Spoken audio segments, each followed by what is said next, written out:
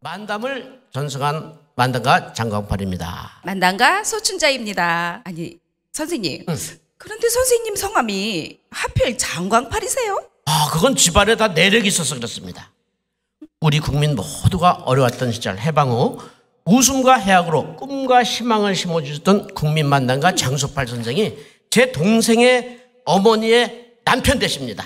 동생의 어머니의 남편? 에이 그럼 장소팔 선생님이 아버님이란 말씀이잖아요. 그렇게 되나? 진정 얘기하지. 아버지는 할아버지가 장에 소팔로 갖다 태어났다 해서 장소팔. 할아버지는 중팔, 중조부는 대팔, 고조부는 사금팔. 저는 아버지가 저기 당연천에서 고스톱치다 광팔 때 태어났다 해서 광팔 장광팔입니다.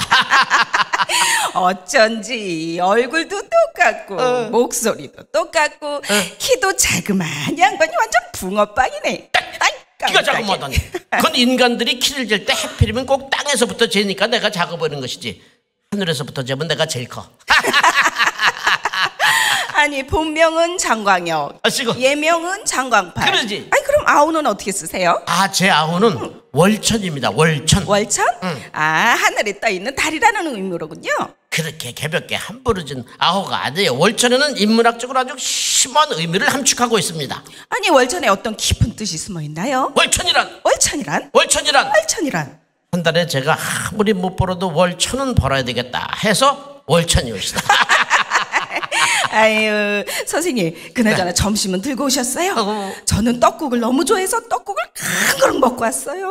아이고 아이고 이거 큰일 났네. 이거 큰일 아니, 났어. 왜요? 큰일 왜, 났어. 왜, 큰일 왜, 났어. 아니 얼마 전에 내분비 학회에서 발표한 논문을 보니까 떡국을 많이 먹으면 눈이 침침해지고 팔다리 허리 삭신 쑤시고 귀도 어두워진대요. 에휴 설마 그게 사실이에요? 아니 이 사람이 속고만 살았나?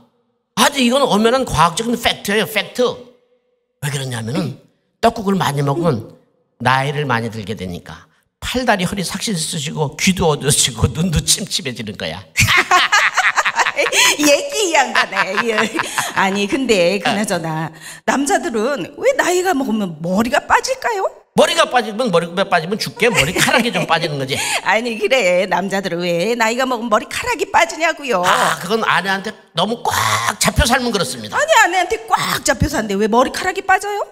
아내한테서 헤어나질 못하니까 헤어가 나지 않는 거지 아유 한 가지만 더 물어볼게요. 물어 꽉 물어버려 아니 며칠 있으면 추석이잖아요. 네. 근데 이 해마다 돌아오는 명절 때면 이 차례상 차릴 때 음식 놓는 순서가 맨날 헷갈려요. 좀 방법 좀 가르쳐 주세요. 아, 그건 진설이라 해서 네. 음식 놓는 순서가 있는데 어동 육설아.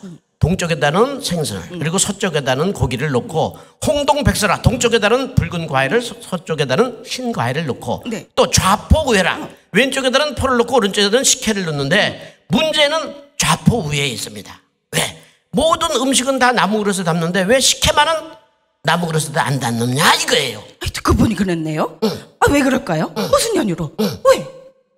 만약에 왜? 만약에 나무에다 식혜를 담으면 나 무식해가 되니까 그렇지.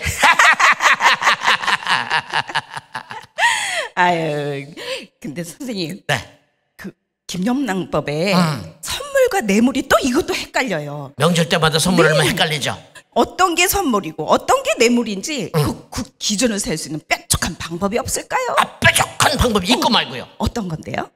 마음에 내켜서 선뜻 주는 물건은 선물이고 뇌를 굴려주는 물건은 뇌물입니다. 아이고 뇌를 잘 굴리시는 선생님은 참 좋으시겠어요. 아니 왜 또? 아유 선친께서 하시던 만담도 계승하시고 아시고. 이렇게 예쁜 소춘자와 공연도 같이 다니시고 이런 경우를 공자님께서 뭐라고 하셨느냐? 공자왈.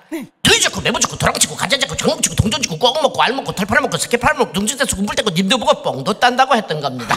아이고 임, 림도 보고 뽕도 딴다니까 생각나는 말이 있는데요. 네. 남자들은 첫사랑을 못 잊는다면서요. 선생님도 그러세요? 아이고 말도 마시게 내 첫사랑은 꼭 우리 소춘자 씨처럼 오드리 헵번을 닮았었어요 오드리 헵번이요? 아우 첫사랑 이름이 뭔데요?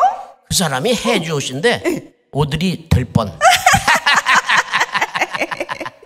아침밥 먹을 때 보면 영락없는 오드리 햇반 같았어요. 에이, 첫사랑이 다시 한번 보고 싶으신가 보구랴.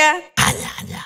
그저 과거는 추억이 있기 때문에 아름다운 거예요. 그러니까 첫사랑도 그저 추억으로 남겨둬야지. 암만. 첫사랑이 못 살면 가슴 아프고. 가슴 아프고. 첫사랑이 잘 살면 살살 배가 아프고. 배가 아프고. 첫사랑 다시 만나면 머리가 아파.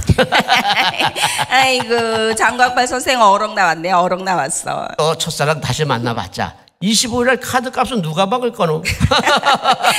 네 옛날이나 지금이나 남자들이 항상 달라지지 않는 건 돈과 사랑이 꼭 필요하다는 사실이죠 엄마나. 그렇지 않아도 우리 옆집 노총각이 말이죠.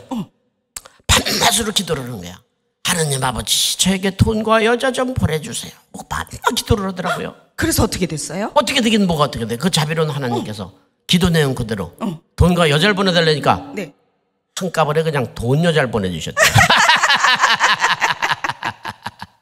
아니 돈 좋아하는 이윤 이야기가 나와서 말인데요. 아니 일본은 왜 독도가 자기네 땅이라고 팍팍 우기는 거예요. 일본은 엄연히 신라 시대 때부터 아, 대한민국 울릉군 울릉읍 독도리 안영복 삼번지 이렇게 주소까지 있는데 말이에요. 아닙니다. 독도는 일본 오키군 시- 시네마야현에 있습니다. 아니 갑자기 웬 일본 사람? 하 저는 브라카와 쓰지마 상인문이다. 아니 이름이 무라카와 쓰지만 아이고 이 이름부터 인색하시네요. 아니. 우리는 물도 아까서 쓰지 못하는데 과거에 어떤 잘못이 있더라도 결코 사과를 하거나 배상을 할 수 없습니다. 아이고 사, 이웃 간에 잘못이 있으면 서로 사죄하고 소통하며 지내야 되는 거 아니에요. 소통요? 네. 소통을 잘하다 보면 만사형통하고 그러다 보면 운수 대통하다 보면 요절 복통을 일으키게 돼서 폭통이 나서 배가 아파서 안 됩니다. 이것 보세요. 사리에 맞는 말씀을 하세요. 살이요? 네. 살에는 고생살이, 피난살이, 해방살이, 또 인생살이, 시집살이가 있는데 이 살이 저 살이야 평양 냉면살이만 못하기 때문에 살이를 찾는 사람은 꼽살이 송살이에 불과한 겁니다. 아이고 횡성수적 그말 하시고 그래 그 주소로 시- 일본 시네마연 주소로 편지는 갑니까? 이상하게 한 통도 안 옵니다. 독도가 일본 땅이라는 근거를 한번 들어보세요. 아, 일본에서는 독도를 죽도죽 타케시마를 하는데 네. 일본은 그를 우측에서 좌측으로 거꾸로 읽지 않습니까? 아이 그게 그렇죠. 타케시마를 거꾸로 읽어보니까 어이? 맛있겠다. 독도는 맛있으니까 우리 땅인문이다. 아니 일본은 국제 여론을 어떻게 구워 삶아 자기네 편으로 만드세요? 아, 그거는 조선 영조 때 조염이 수입해간 쓰시마산 고구마를 먹어서 그렇습니다. 아니 국제 여론을 어떻게 구워 삶아 자기네 편으로 만드니까 생뚱맞게 대마도서 고구마 얘기는 왜 나오는 거예요? 아, 국제 여론도 고구마처럼 구워 삶아야 우리 편이 되는 겁니다.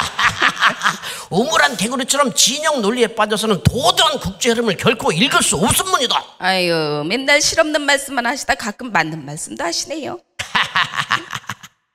그런데 저 한국에는 말이죠. 그리고 우물한 개구리뿐만 아니라 저 내과의 개구리들도 혼자 튀려고 하는 개구리가 있습니다. 아유 가짜 뉴스 생산 그만하시고 근거를 들어보세요. 근거를. 내가 저 노원구 그 당연전에 가보니까 밤에 아 개구리들이 다 옷, 옷을 홀딱 벗고 미역을 감는데 아 한 놈만 팬티를 입고 소송소송 댑니다. 야 임마 넌 뭔데 혼자서 팬티 입고 서서 네 아전 때밀이에요. 아유 선생님 원래 그렇게 유머가 많으셨어요? 저는 어렸을 때부터 유머가 키워져서 유머를 좀 한다오.